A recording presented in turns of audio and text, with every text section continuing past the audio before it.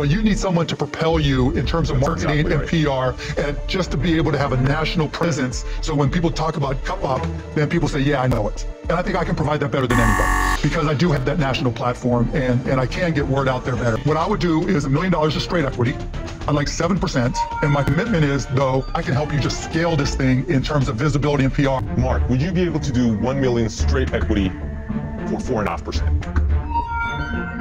I'd go 5.5% is my lowest. 1 million equity for 5%. All right, I'll do 5%. Man, Cupbop dropped the ball fast as Shaq trying to dribble with Parkinson's. Mark Cuban inked a deal with Cupbop trading $1 million for 5% equity, but there's three huge problems. Robert Uh-oh. offered Cupbop $5 million.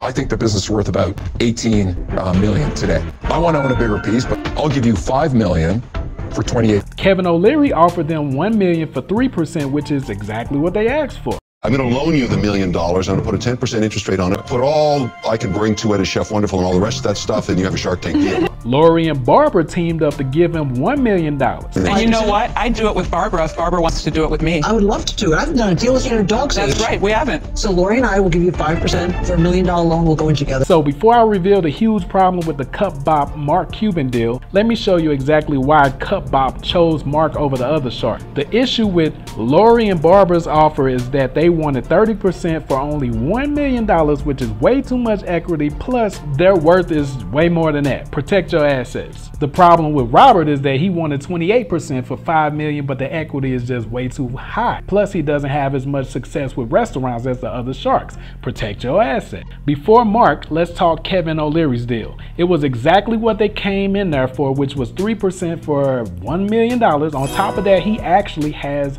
more success in the restaurant industry than most of the sharks. So why did Cupbop reject him? It's simple.